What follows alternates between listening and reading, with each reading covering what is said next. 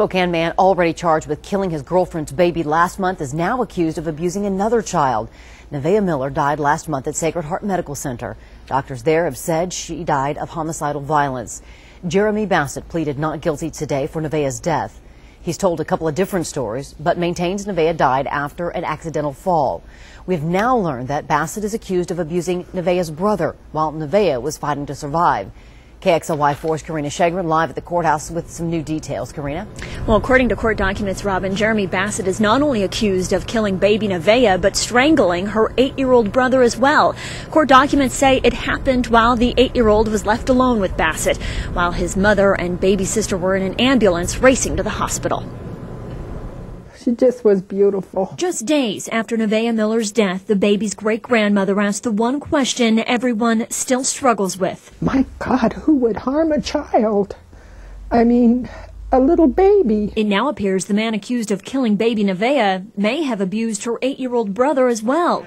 In court today, Jereme Bassett pleaded not guilty to murder charges and charges of assault of a child.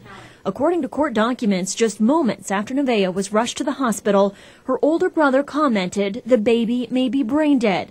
The little boy told police at that point Bassett grabbed him around the throat and began strangling him as hard as he could. Court documents continue to say Bassett choked the boy to the point he was having a hard time breathing.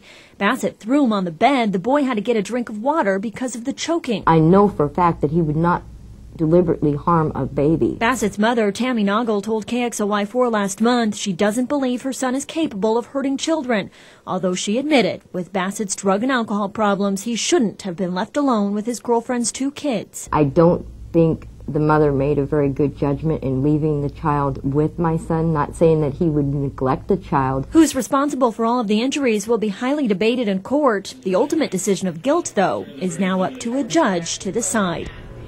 And Jereme Bassett remains in jail on a $1 million bond. His trial for both charges is set to begin at the end of June. However, the judge said today that date might not be realistic. She acknowledged both sides might need more time to prepare for the upcoming trial.